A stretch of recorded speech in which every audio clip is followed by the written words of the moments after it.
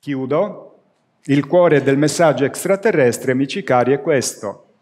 Dal cielo alla terra, messaggio del 23 luglio di quest'anno una comunicazione profonda e carica d'amore. Vi abbiamo spiegato anche, e desideriamo confermarlo per l'ennesima volta, che noi, esseri di luce, entriamo in contatto solo ed esclusivamente con operatori sulla Terra che giorno per giorno donano il loro tempo e la loro vita nella lotta contro il sistema criminale del vostro mondo cioè anticristo, difendendo la vita di tutti gli esseri viventi della terra. A noi non interessano coloro che egoisticamente cercano nel loro io interiore amore e armonia senza lotta evangelica dell'attivismo sociale contro le guerre e i mali del mondo. Noi scegliamo uomini e donne che hanno offerto la loro vita e i loro giorni agli ultimi, ai senza voce. Non abbiamo al momento altro tipo di contatto con esseri umani che hanno scelto un percorso percorso, di vita diverso dai sopra citati. Loro preleveranno solo questo tipo di gente, gli altri li lasceranno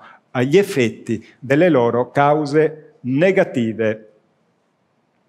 Perciò, siccome il pianeta è in crisi e stiamo anche rischiando una guerra nucleare globale, è necessario per il nostro futuro entrare nell'ottica dell'azione derivante dalla legge di causa ed effetto e dobbiamo capire che siamo responsabili di ciò che accade intorno a noi, perché se noi italiani protestiamo, quelli non le mandano più le armi.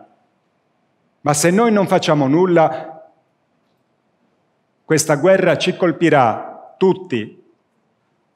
Non possiamo occuparci solo dei nostri interessi personali, nell'aspetto privato, intimo, familiare e amicale, ma dobbiamo impegnarci a livello sociale, partecipando attivamente a una causa a favore della vita e del pianeta, che è la nostra casa comune. Dobbiamo resistere, opporci al male dilagante e dare il nostro personale contributo concreto al miglioramento. Dobbiamo essere quel cambiamento che vorremmo vedere negli altri. Dobbiamo comprendere che la vita è regolata da queste supreme leggi universali, che l'etica è una base imprescindibile per la stabilità personale, sociale e planetaria. Questo comporta oggi la necessità di agire in modo concreto per opporci al processo autodistruttivo in atto. Solo così potremo entrare in contatto con le società delle stelle e convivere con loro.